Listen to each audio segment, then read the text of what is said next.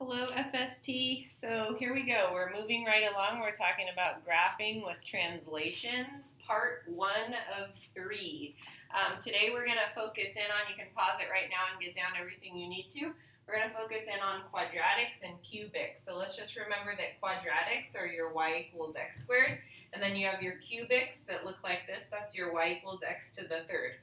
Okay, so the thing that we're talking about today is that these are just the parent functions, of course but we could throw in numbers inside of a parentheses on either of these and also after the exponent a number tacked on the end that will start to adjust how the graph looks, okay? And so what you need to understand is if there's a number either plus or minus inside of a parentheses with the x on either one of these type of graphs, that's a horizontal shift. And the thing that you always need to remember is that you go the opposite of the way that it says, okay? It's kind of um, kind of different. And then if there's a number after the exponent, if there's a number that's like tacked on the end, okay, outside of the parentheses, that's a vertical shift. Okay?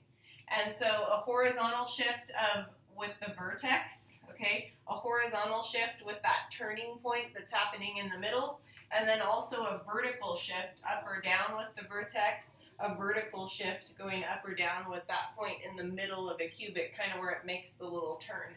Okay, so here we go. Let's start taking a look. So first one, I got a bunch of examples here. First one, y equals x plus 2 the quantity squared. Okay, so what this means to us is we have a horizontal shift going on, okay, and then there's nothing tacked on the end, so that means that there's no vertical shift at all.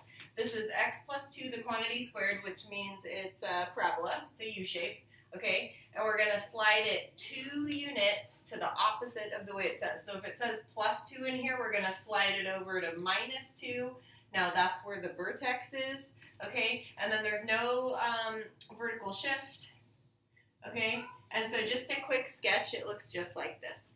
Okay, let's look at the next one. We have x minus 4 in parentheses, and then it's cubed, okay? So again, there's nothing on the end here, so we don't have any sort of vertical shift, but we're going to go the opposite of the, of the way it says. So we're going to shift over to positive 4, okay? And I'm just going to put a point right there okay? And it's as if we've taken this and we've shifted it four units over because we always go the opposite of the way it says. So now I'll just do a quick sketch because that's all we're doing, just little quick sketches. And it maybe looks something like this, okay? Just a little horizontal slide. Okay, let's look at the next one. Now notice how this minus 4 right here is not inside the parentheses with the x, okay? It's tacked on the end. So when it's tacked on the end, that's a vertical shift, okay? So up or down and it's the way that it says, okay? And so we're back to an x squared again, which means we're back to a parabola, okay? And then we're to shift it. We go the way that it says on a vertical shift. So we're to shift down to negative 4, and then again it's an x squared, which means it's a parabola. So just quick sketch looks something like this. Okay, next one, x to the third plus 5. Again, there is no parentheses here, Okay, and so this is this plus 5 on the end is a vertical shift. We're going to shift the whole thing up to 5. Okay, no horizontal shift. And then we're just going to sketch in the cubic. Okay, just 5 shifted up. Okay, so next two. What if we have shifts on both? Okay, so we have a horizontal shift opposite the way it says, and then a vertical shift the way it says. Okay, so horizontal shift to positive 1, because opposite the way it says, and then vertical shift up to 4. Okay, so there's a point there. It's a um, parabola, so that's got to be the vertex. And then if we just sketch it in, there it is. All right, next one, it's a cubic, which means it's one of these guys. Okay, opposite the way it says on the horizontal, vertical the way it says. So we're going to shift over negative 2 and down negative 3. Okay, so at the point negative 2, negative 3, that's where that turning point is going to happen, okay?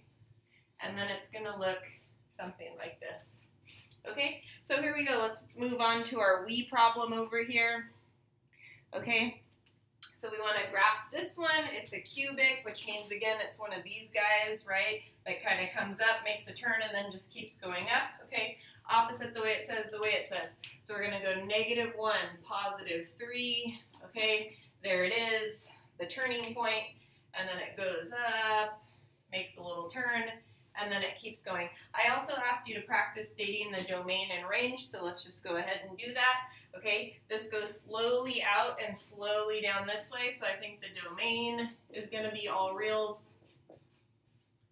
Okay, and I think the range on this, it goes down forever, it goes up forever. I think the range is going to be the same. In fact, it is that, this, and this for all cubics, okay? All right, so let's look at our U all problem. Alrighty, here it is. Okay, please practice stating the domain and range. And I think yours should look like this. So let's get to practice.